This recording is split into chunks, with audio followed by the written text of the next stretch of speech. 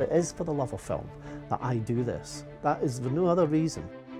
I'm Iain McColl. I'm the senior operator of the Screen Machine Mobile Cinema. On the road it looks like a big supermarket truck, but the magic happens when it pulls into the car park and everything starts to unfold. It turns into an 80-seat auditorium. My love of film started when I was about 10 years old when the mobile cinema used to visit the local village hall. When the lights went off and that bit between the screen lighting up, it's just oh, the anticipation. And I knew that was the thing that I would love to do, is be involved with something like that. And here we are today.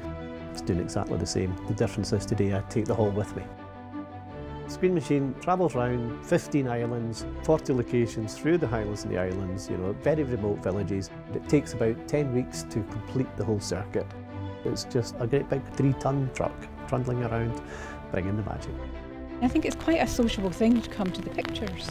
We get our popcorn in the shop and we come along here. It starts the minute the screen machine arrives in the village. There's no getting away. If you come off a ferry onto an island, ah, the screen machine's here. The audience are part of the cinema here, and that just makes it more intimate and so much more community focused. Iain has got a passion for what he does and he brings that passion out when he comes here to see us. So I think it's absolutely spectacular that BAFTA's actually given him the award. I just do a job. You know, at the end of the day, I put on a film show to have won that competition for somebody who goes over and above. It's not often I'm actually struck dumb, completely.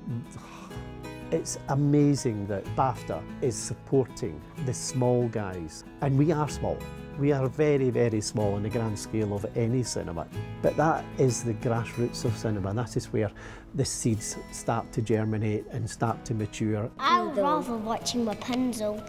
I like watching Pirates of the Caribbean. I'm studying Glasgow right now. I'm actually studying television, and it's quite good to when I tell people I used to watch films in the back of a big lorry It did inspire me in some parts to go out and start making my own television and film.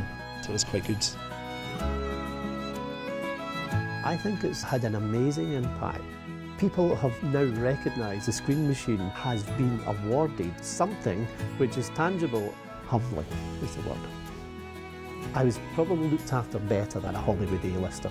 It was like a parallel universe for me. I just kept having to pinch myself that this was happening. I had the same carpet time as any A-lister and I was told to go back and do it again if I wanted. Just walk back and enjoy this and just experience it and I did. I loved every second of it. For the love of film, it covers everything. The title has a massive amount of information for the love of film. I think that is incredible because it is for the love of film that I do this. That is for no other reason. That was how I started, was for the love of film. Yeah.